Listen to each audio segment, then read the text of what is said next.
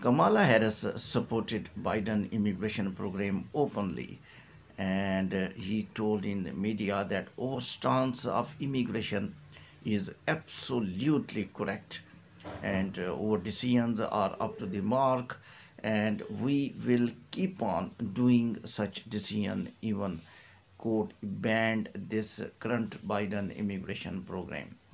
Uh, by this stance, it's looking that uh, Kamala Harris is not telling that I am against these favors to undocumented because uh, I and also other analysts were thinking that it will affect the Kamala voting for US citizens because US citizens uh, are against undocumented.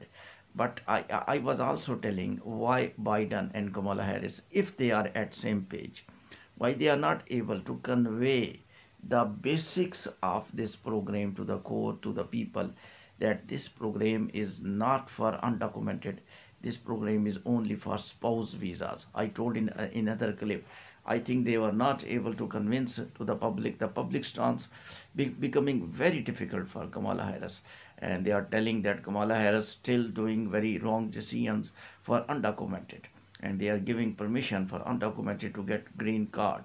And we don't want and we want that over taxes must be consumed in our facilities.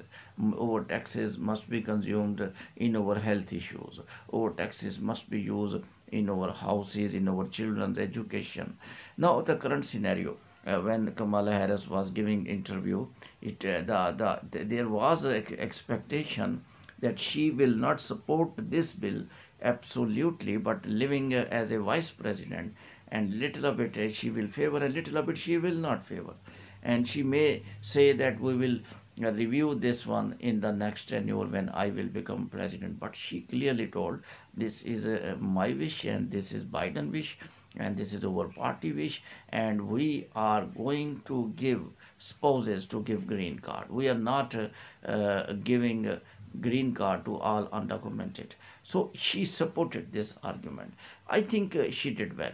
Uh, because when she will deviate from this Biden immigration program little bit, straightforward criticism will be there that you are the vice president, you are in government, you decided, Biden decided, I mean you decided. So is there any difference between Biden and you? And this difference, if uh, media was able uh, to to uh, uh to point out that affect the voters uh, in, into two minds that if they are not together in their party if the president vice president are not together how we must give them votes. So i think at one side she should be. I knew that kamala harris uh, was not much happy in this immigration program this was Biden's basic program because biden is living as a president and there is no chance further that he will become president in any other tenure because his age is little bit not giving him permission health issues are also there Therefore, by departing, he wanted to do some good works and to get the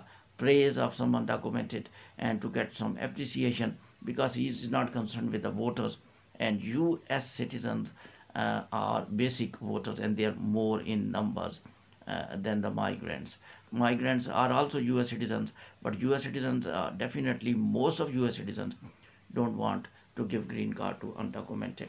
So these are the situations going on. Kamala Harris uh, finally supported this program and also he supported she supported that our climate decisions were good our immigrations all decisions were good and i am completely on board and there is no any type of deviation deterioration in this decision although court is banned and they are going to they are going to uh, uh, uh, fight with the court and mean that a legal fight and they are very optimistic that our decisions will be reversed. Thank you.